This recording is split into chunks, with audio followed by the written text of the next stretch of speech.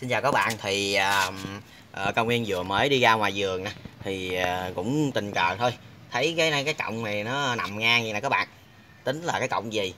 Nhưng mà nhìn lại thì đây là cái rễ mai các bạn. Thì uh, lúc mình vừa cái đem những cây mai về mình cắt rễ đây nè mình cũng uh, tình cờ mình cắt bỏ để uh, xử lý lại những cây mai. Thì đây là cái cọng rễ mai nè các bạn. Thì nó mọc cái phần rễ cám xuống nè các bạn rất là mạnh luôn. Và nó ờ, rất là đẹp. Cái rễ mai nó uốn éo rất là đẹp các bạn, thấy không? Thì cái rễ mai này trồng thì đảm bảo ok là nó sẽ sống nha các bạn. Thì à, đây là cái rễ nhỏ thôi, nhưng mà nó có cái gì đó nó rất là đẹp. Nó có cái đường co như thế này, nó uốn éo rất là tự nhiên, rất là đẹp các bạn. Thì à, mình nhân tiện đây mình làm video này để chia sẻ các bạn à, cách trồng cái rễ của cây mai đó thì à, thảy ngoài đất tự nhiên nó cũng lên bình thường các bạn nằm ở trên mặt đất thôi. Nhưng mà nó có độ ẩm cái là nó ra cái rễ cám à. đây là những cái rễ mai mình à, bỏ. Đó thì bây giờ mình sẽ tiến hành mình trồng lại để mình à, sau này nó lớn thì rất là đẹp các bạn. Và mình cũng xin à, nói à, thêm đó là cái rễ mai các bạn nó sẽ lên con rất là mạnh nha. Giống như đây thì lúc đó nó trước nó ra con nè do cắt nó bị héo nè. Thì sau khi trồng đủ điều kiện trong cái môi trường ẩm đồ tốt các bạn thì nó sẽ ờ, ra rễ ờ, rất là mạnh nha. Và cái thứ hai nữa là nó sẽ ra được con rất là mạnh luôn. Nó thì bây giờ mình sẽ tiến hành mình trồng ha thì cái ờ, cây mai này nó có cái bộ rễ rất là đẹp. Uốn éo. Trồng thì mình trồng ừ, thử để xem sau này nó phải phát triển lớn như thế nào nha các bạn. Thì bây giờ mình sẽ tiến hành mình trồng con chậu thôi đây là cái đất mình đã ủ nè các bạn thấy không? Màu đen nè thì lúc trước mình à, thường à, chia sẻ về cái cách là xử lý cái chất trồng cho những cái mai. Cũng xin nói thêm đó là cái chất trồng không có như là những cái chất trồng trước mình chia sẻ. Đây nó gồm có cái cát và cái à, bã mía trong này nè các bạn.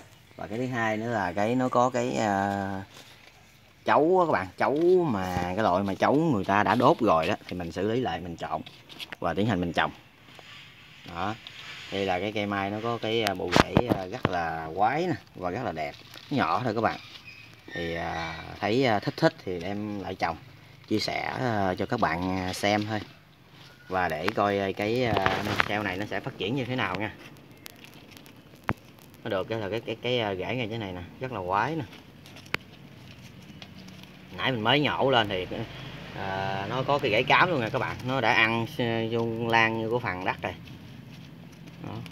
đối với những cây mai mà chúng ta bứng mà nó, ở trong môi trường mà nó bình thường các bạn, thì nó rất là mạnh.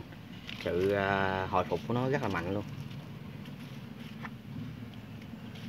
Trồng mà cái mai nó bị suy là do cái à, quá trình mà chúng ta chăm sóc mà nó không có được tốt á, hoặc là chúng ta cưng cây mai của chúng ta quá, chúng ta chăm sóc nó quá mức thì nó sẽ dẫn đến có thể là úng nước và nó bị suy đó thì đó là một số cái à, à,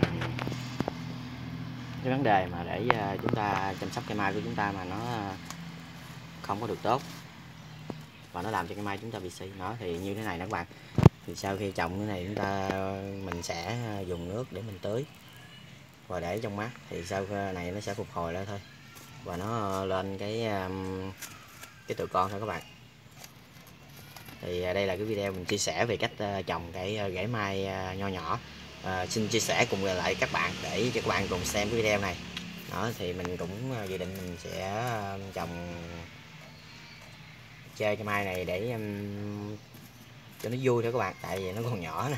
Thì uh, trồng khoảng um, một thời gian nữa coi cây mai này nó sẽ phát triển như thế nào. Thì mình sẽ làm cái video để mình chia sẻ cho các bạn cùng được xem đó thì về cái uh, vấn đề đây là mình xin chia sẻ cái ờ, cách uh, trồng cây rễ mai nhỏ nhỏ thôi các bạn. Thì video đến đây cũng kết thúc rồi. Xin cảm ơn các bạn đã quan tâm theo dõi nha. Một lần nữa xin cảm ơn các bạn. Nhớ đăng ký bình luận và yêu thích video để tạo những cái động lực để cho kênh công nguyên làm những video hay nó phục vụ cho các bạn nha. Xin chào và hẹn gặp lại các bạn.